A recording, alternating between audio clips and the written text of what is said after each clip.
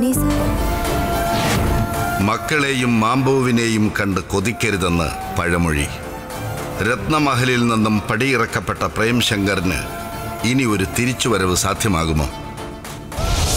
ഈ അമ്മ മനസ്സിന്റെ ആത്മനൊമ്പരം കണ്ടില്ലെന്ന് നടിക്കാൻ ഇവർക്കാകുമോ? തിങ്കൾ മുതൽ ശനി വരെ രാത്രി ഏഴ് മണിക്ക് പൗർണമി തിങ്കൾ.